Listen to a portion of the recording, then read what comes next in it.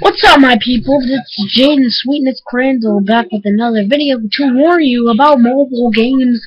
That really, I like mobile games. I like me some Candy Crush and some, um, you know, Angry Birds. But now, Angry Birds and Candy Crush have mobile games in general have gone to crap.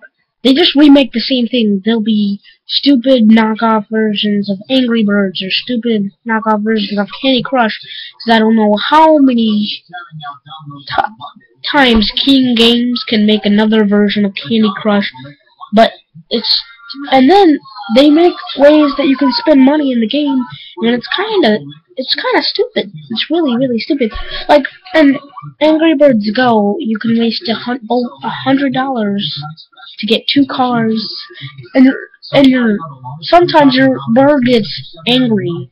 It's a virtual bird. How does a virtual bird get angry? Angry. I mean, you're a bird. You're a bird. That's virtual. And you get angry. And I don't know how many Angry Birds that they can make. Angry Bird Space. Angry They're just gonna come up with random names now. Angry Bird Toilet. Okay? Come on, people. How many more Angry Birds can they make?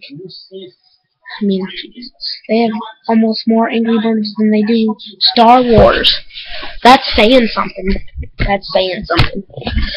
Well, I just wanted to warn you guys that mobile games have really gone to bull crap right now.